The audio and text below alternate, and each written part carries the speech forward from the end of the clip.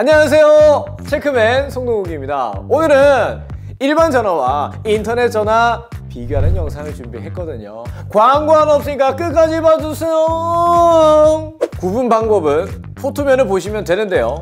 일반 전화의 경우에는 전화선을 연결하는 부분이 인터넷 전화는 인터넷 선을 꼽는 부분이 있습니다. 가끔 무선이면은 인터넷 전화다 이렇게 혼돈하시는 분들이 있는데 일반 전화도요 무선 전화기가 있고요. 인터넷 전화도 유선 전화기가 있습니다 여러분. 그래서 꼭 포트면을 보시고 구분을 하셔야 돼요. 자 이제 각각의 장단점 살펴드릴게요. 우선 첫 번째 일반 전화의 장점이라고 한다면 정전이 되더라도 사용이 가능합니다.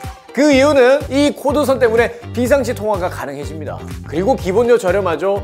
지역번호로 신규 가입도 가능합니다만 단점은 문자 메시지 사용이 불가능해요 자 그럼 이제 이어서 인터넷 전화의 장점 한번 살펴볼까요? 무선 인터넷 전화의 경우에는 동일한 통신사의 와이파이가 터진다면 밖에서도 사용이 가능하고요. 그리고 해외에서 호환만 된다면 추가 요금 없이 사용이 가능합니다. 와 이거 괜찮죠?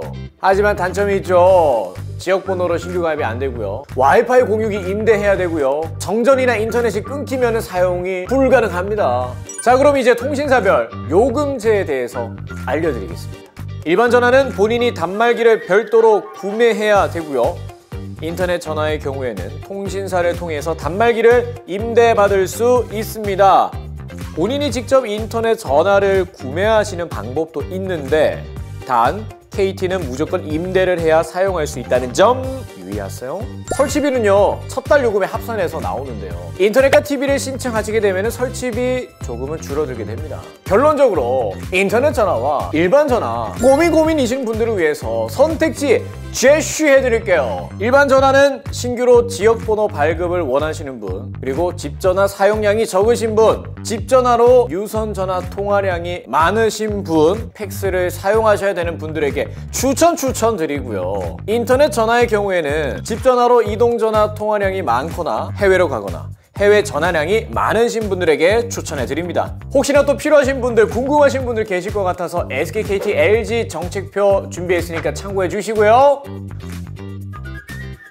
혹시나 뭐 궁금한 점 있으시면 댓글 달아주시거나 전화 주시면 저희가 상담해 드리도록 할게요. 오늘도 영상 유익하셨다면 구독과 좋아요 잊지 마시고요. 지금까지 체크맨이었습니다. 최대 현금, 최저 요금 보장, 업계 최다 고객 후기, 아 정당하게 받자.